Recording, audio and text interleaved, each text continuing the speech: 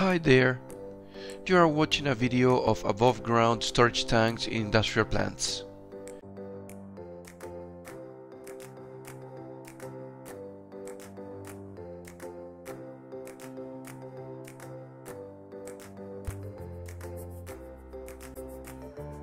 The shell or wall of a storage tank is prone to buckling, mainly when the tank is empty or is near of being empty. To avoid this, stiffening rings are placed on the tank shell, starting from the top, less resistant, and going down, placing intermediate rings if necessary. The reasons to use outer stiffening rings on tank shells are the following. To ensure the shell to roof joint, to avoid deformations caused mainly by overpressure internal vacuum.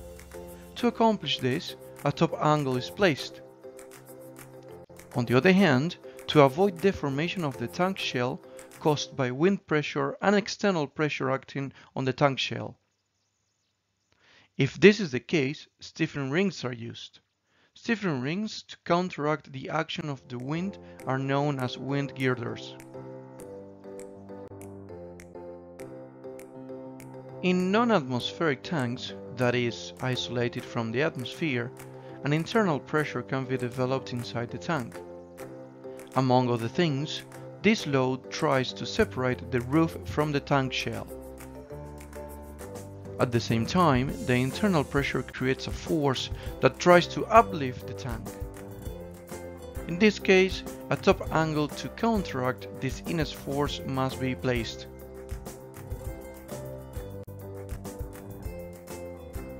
As indicated in section 5159 of the code, the shell of the roofed storage tanks must be provided with a top angle where the size will not be smaller than those indicated in the table showed on the screen. As per Annex F of the API 650 code, the profile used to support this type of roofs must have a configuration and cross-section according to figure F2 of the code and reproduced on the screen. The configurations allowed for this type of roof must follow details A to I. The cross-section of the joint must comply with the minimum requirements indicated in the code. On the other hand, for tanks with supported roof, the top angle shall be according to the figure F2 of the codes, details A to D, and the joint will be considered as frangible. Same as in the previous case, the cross-sectional area of the top angle for tanks with supported roofs must comply with minimum requirements established by the code. One of the most important aspects to consider in the design of the tank shell is the action of the wind pressure. This tends to buckle the tank shell. The stiffening of the tank shell must be analyzed, carried out in two different sections of the tank. Top wind girder, stiffening ring to prevent the upper part of the tank shell from buckling.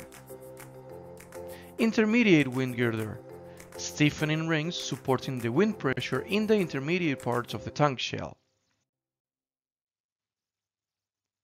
In addition to the top wind girder, the top angle is also located in the upper part of the tank. When possible, it is a good practice to design a unique ring that meets both functions.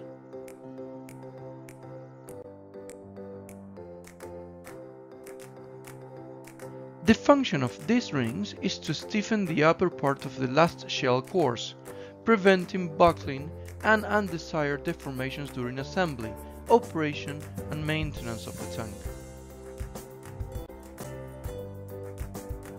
The top wind girder is of vital importance in tanks with open roof to stiffen the upper part of the tank shell. This needs to be done to withstand the actions of the wind. The minimum size of the profiles to be used is described in section 593 of the code.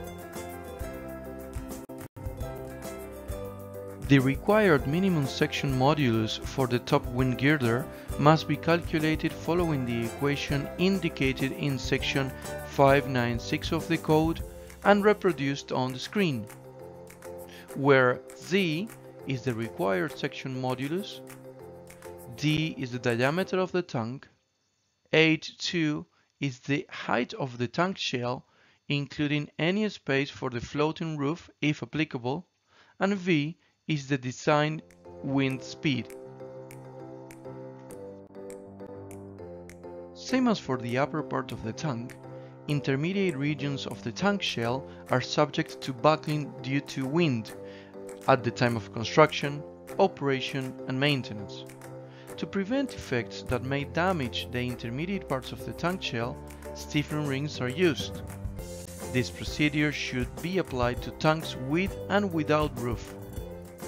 The API 650 code in section 597 establishes a procedure to check whether intermediate wind girders are required. The method consists first in calculating the required vertical space between rings according to the following, where h1 is the vertical distance required between intermediate rings and the top wind girder. T is the nominal thickness of the thinnest shell course. D is the nominal diameter of the tank. And V is the designed wind speed.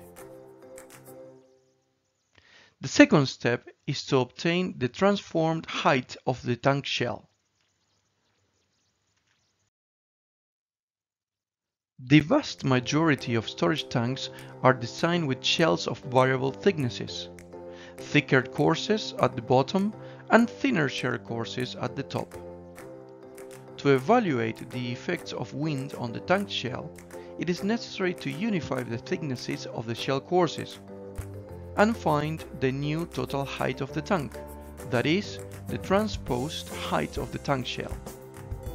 It is obtained as shown on the screen,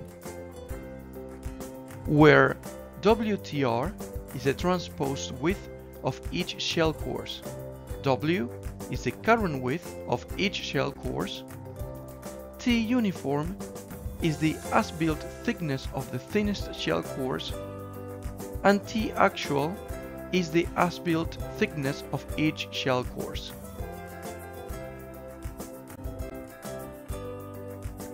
If the total transposed height, the sum of the transposed shell courses, is greater than h1 calculated earlier, at least one intermediate ring is required.